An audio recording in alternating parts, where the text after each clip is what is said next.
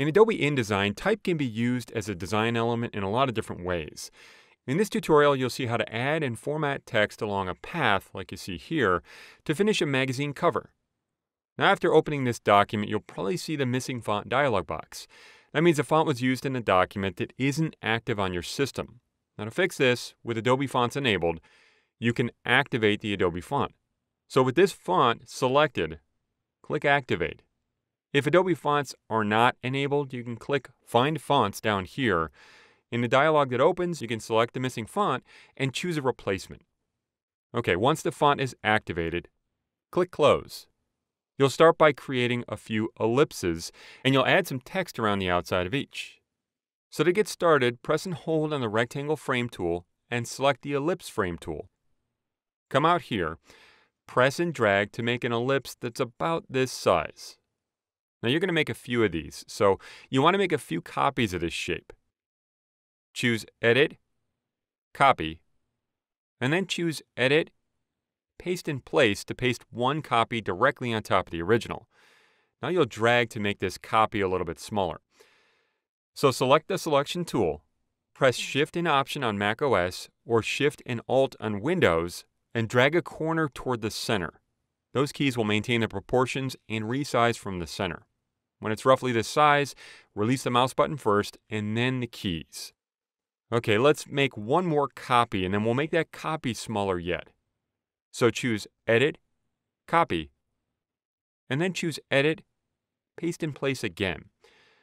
To make it smaller, press Shift and Option on Mac OS or Shift and Alt on Windows, drag a corner toward the center, and when it's roughly this size, release the mouse button and then the keys. With three ellipses, now you'll add text to each using a special type tool called the Type on a Path tool. To select it, press and hold on the Type tool and select the Type on a Path tool. You'll start by adding text to the largest ellipse. So move the pointer over the edge of the shape where you want to start typing, somewhere down here. And when the pointer shows a plus next to it, click to make it so you can add text around the outside of this ellipse. Then type an in-depth look at the first ascent on the dawn wall, P38.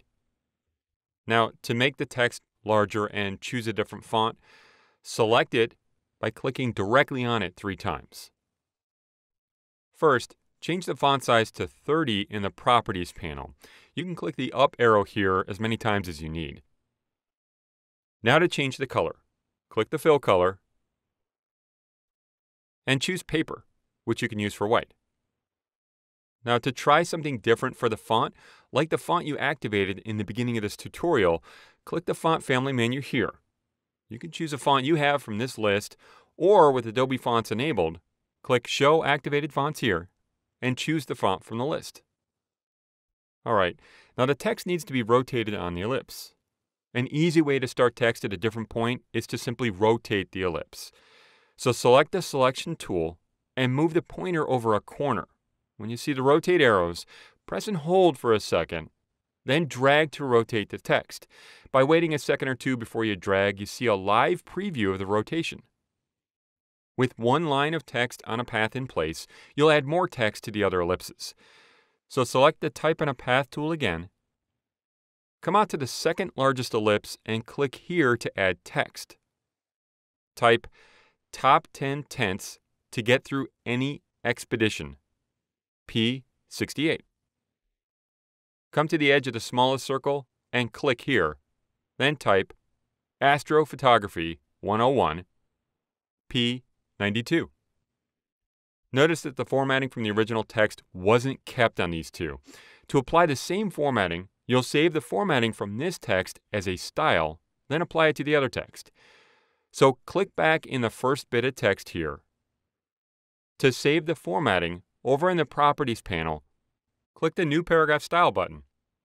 You can now name the style, then press Return or Enter to accept the name. To apply that same formatting, click in this text, then choose the new style name from the menu. Do the same for this text. Using text as design elements can be really fun and add unique creativity to your designs. If you want, try repositioning and rotating the text using the techniques you've learned.